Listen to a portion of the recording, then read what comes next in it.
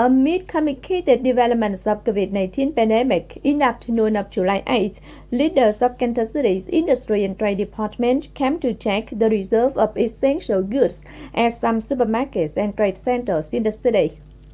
After checking COVID-19 situation at Co-op McCenter, Lotte McCenter, MM, Mega Market Hưng Lợi, and GO Cần Thơ supermarkets, goods, especially essential goods, are in good reserve. These units ensure both quantity, quality, and price of their goods.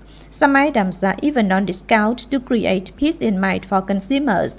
Highly appreciating the proactive preparation by supermarkets and trade centers, leaders of the industry and trade departments suggested these units regularly watching the supply-demand situation to avoid any incidents.